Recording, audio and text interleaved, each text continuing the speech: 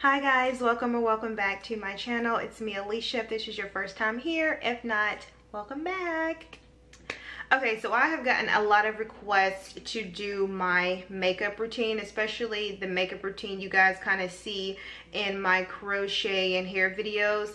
Um, guys, I am, I do work as a freelance artist for MAC, but I am not the person that does these extravagant beads. My sister do them and they are great at them. However, I'm very impatient and I cannot sit down for 45 minutes to do a face. I just can't. So a lot of my makeups are easy, simple, clean, easy to follow, easy to do, no heavy blend like there's there's just none of that. So um if that's something you guys want to see just let me know and i will definitely do more of them.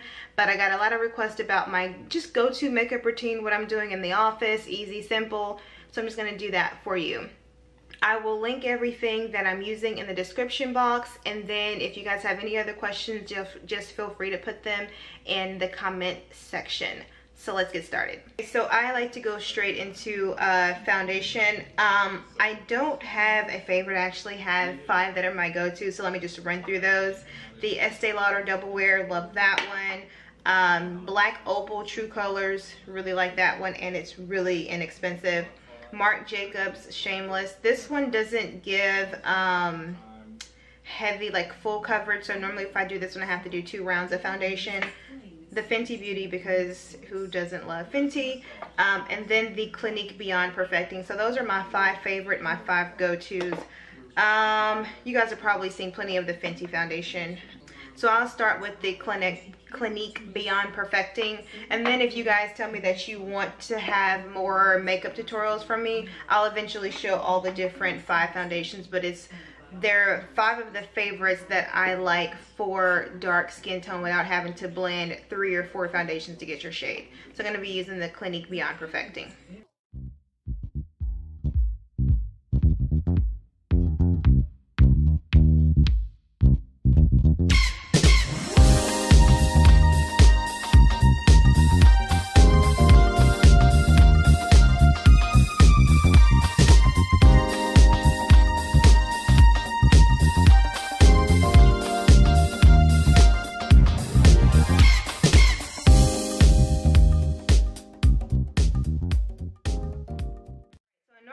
Do two concealers, but one is not really light enough to conceal me and the other one is too light.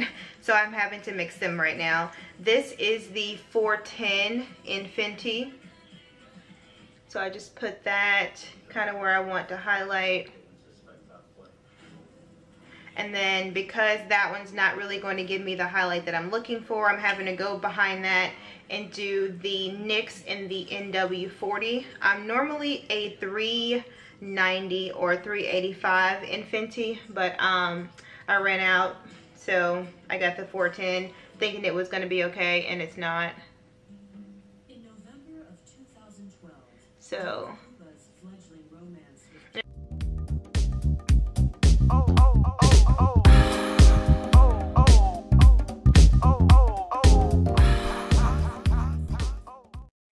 once that's done, I like to set everything before I put on some baking powder. And so I am using the L'Oreal, L'Oreal, Laura, who are you?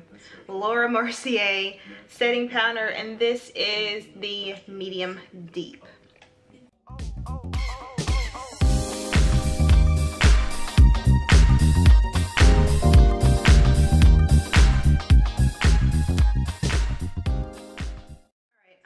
Like to do a little bit of baking while I'm doing my lashes and then my eyebrows. So I'm using the ColourPop No Filter Setting Powder and this is in Banana. And then I have this little bitty small beauty blender. I got this at Walmart. They come in like a pack of them. So this is what I use to get right under my eyes. Just to give me like a little bit of a pop, not that much. So I'll put this on my eyes. I'll put a little bit on my forehead and then I'll put a little bit on my chin and maybe on the nose area. And so this will sit on there and bake um, probably for about mm, for about five to five to I wouldn't say 10 minutes because it doesn't take me that long. Five minutes or so, long enough for me to do my, um, my eyebrows. Okay, so brows, I only use one product and it's amazing. I use the BH brow pencil. One of my um, old college friends put me on this on her Instagram. Thanks, Audrey. And I've been buying these in bulk ever since. If you get them on sale, they're like two to three, no, maybe like three to four dollars on BH when they have a sale. So I get like seven or eight at the time because I never ever ever want to run out.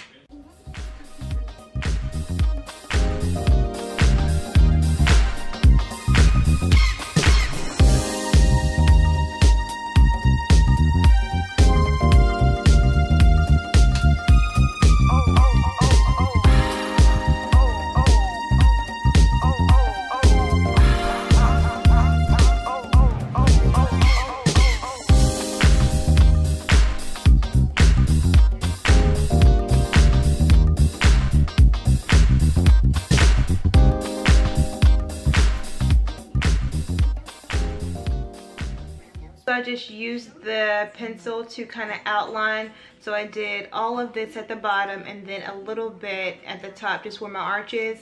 I'm going to take the same thing and I'm going to blend in the, the back part of my eyebrow or the end of my eyebrow. This thing is just, it kind of reminds you of the spiked brow pencil, but like a fourth of the cost. No shade, but shade. And so once that's done, I like to take this eyebrow shaper or eyebrow tool or whatever this is called. It's like an angled brush. I got this from a crayon case. And then I'm just going to use this to blend in the top or the front part.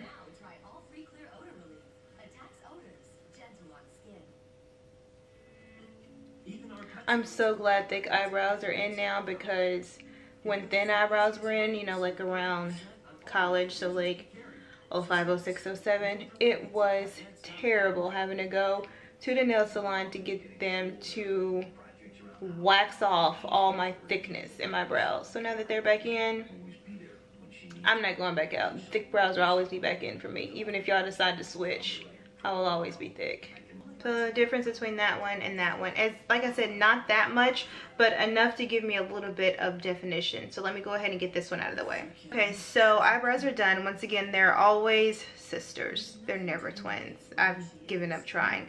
I don't do the upper part. I don't consider the upper part just because I just don't think I, I need to. But I do conceal the bottom part and I use the same concealer from MAC that I used on my face the NW40. So I just take the end of that. This is a precision brush I got from the crayon case. They have the best brushes. And then I just conceal under my brow.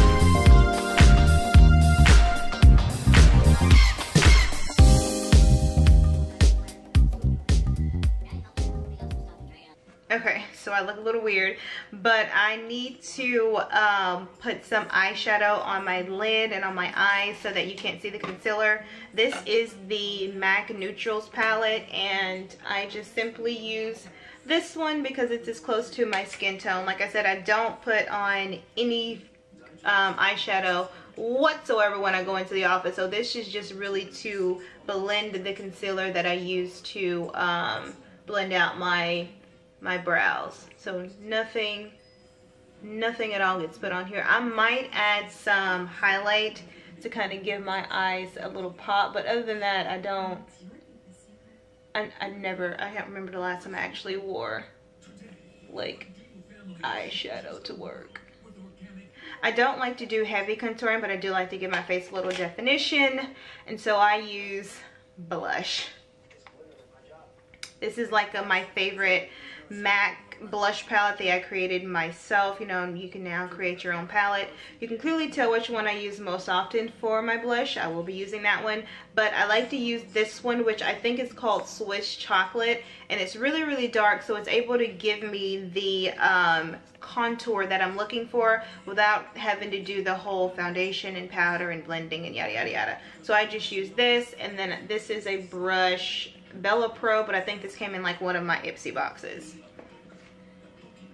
So I just, not a, not a lot because a little goes a long way. Just, I use this and then I kind of shake it off and then I just apply it below my cheeks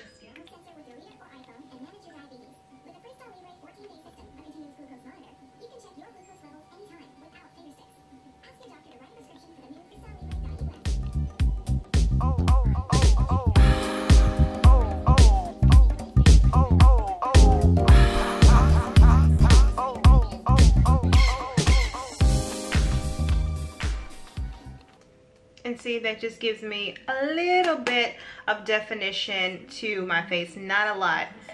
This has been on long enough so let's go ahead and sweep that off. I'm just using this nyx professional makeup brush.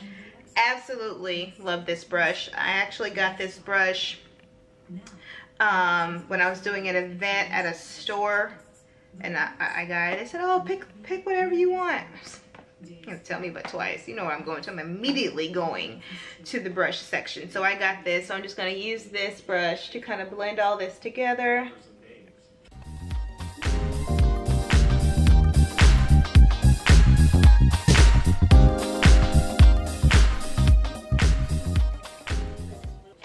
I'm going to go back to my blush palette and put on my blush. It's not, I like it because it's kind of like a nude or a neutral and I don't know which one this is called. Shoot. Let me let me take it out because I need to let you know which one this is called because it's a great, to me, a great nude neutral. So let me see if I can't pull this out. All right, this is called Format. That's the name of the blush that I'm about to put on.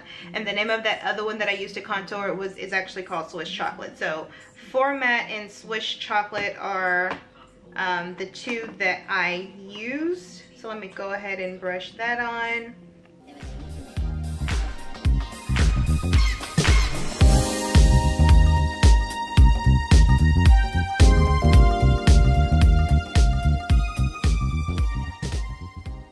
Okay, so before I do the highlighter and a lippy, I want to go ahead and do my lashes. I don't do any um, eyeliner, but I do do lashes. Um, however, if you cannot put on your lashes without touching your lid, basically showing off the glue, you can apply liner. Um, I do mascara first. I'm going to do the Buxom Plumping Mascara. I'm going to put that on my lids first. Alright, so while that's drying, I'm going to apply some lashes. These are Salon Perfect 110s. Um, these are my everyday lashes. They aren't they don't do the heavy wispy look, but it's just a little something to give a little definition to my lashes. Um, there are two duo glues. I don't know if you guys know it. There is the normal, you know, duo splash glue.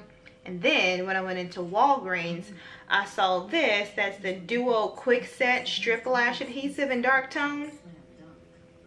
Y'all, this glue. You know how normally you gotta wait like 30 seconds and you gotta, this is not that glue. You normally, you can wait like five or 10 seconds and apply this glue. Love it. I don't know when they came out with it because I hadn't seen a post about it, an Instagram store. I heard nothing about it, but it's gotta be new because I just now, I'm just now seeing it. So let me go ahead and put this on my lash. All right, so this one should definitely be close to dry right now. Let me go ahead and apply this. Some people can use their fingers. I'm not there yet. I have to use tweezers to apply it because I'm not putting on any liner. I need it to go immediately on my lash line.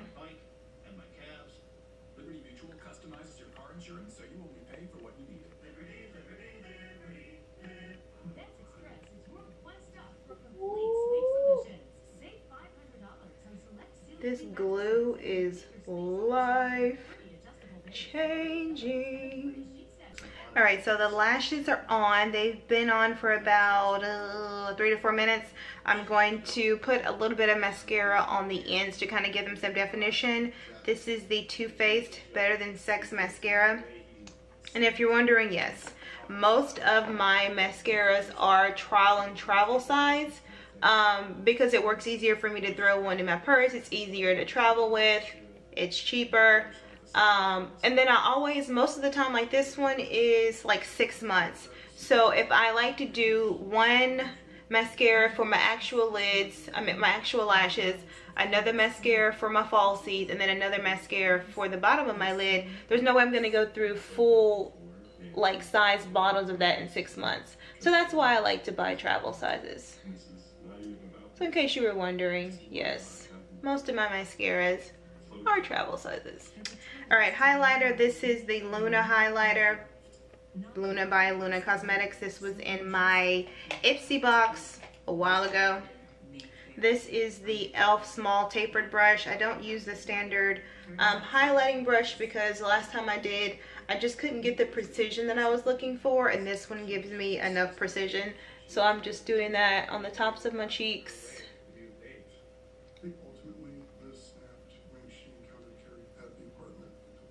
And then I'm going to take the e.l.f. contour brush and I'm going to use that to put a little on my nose. A little bit on the end. I'll blend that in a second. And then a little bit on my cupid's bow. And then for fun, because why not, I'll put a little bit up here to kind of give me some highlight on my brows. And this is when I say I don't do eyeshadow, but I do a little bit of highlight. This is what I mean. I'll put a little bit of highlight up there. And I'm just going to take my finger to kind of blend in what I did up here. Alright, last but not least is the lip. I love a good bold lip to kind of zhuzh up the whole makeup look. My favorite matte lip is Milani. They have their um, lip cream, their matte lip cream. And I like this one for two reasons. One, the price point is absolutely amazing. And two, I don't like to just reapply my lippy throughout the day, especially if I'm at work and I'm getting busy and I don't feel like having to take it out. I don't have to reapply this. Like once this is on, it's on. Like no coffee, no straw. You can eat through this entire thing. So this is normally what I will put on throughout the day and they have really, really good colors.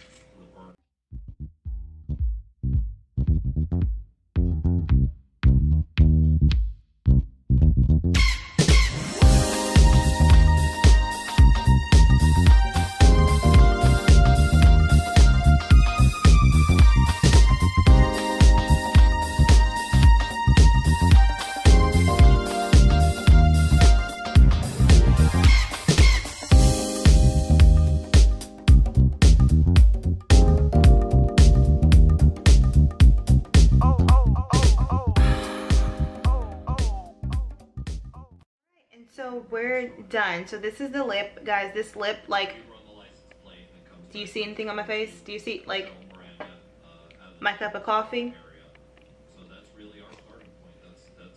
What red do you see? Nothing. This, if I, if you don't buy anything else, and they are not paying me for this, I wish they would because I would love some of your products. This lip cream is absolutely amazing. Anyway, off kilter. This is the look nice easy simple look like I said this probably takes me about 15 to 20 minutes which is perfect considering that I normally get up late or just don't want to spend all day on my makeup look um, I think I kind of told you guys everything that I use but if not I'm definitely going to put everything with proper links in the description box. If you love this look, if you want me to do more makeup looks, please, please, please let me know so I can bang them out for you guys. Don't forget to check out all my other videos because I have a lot like I've actually been doing good. I've been trying to post at least once a week. It's been hard, but I love you guys and I appreciate you guys for following me on this journey. So go check out all my other videos. Like, comment, and subscribe, and I will catch you guys next week. Bye.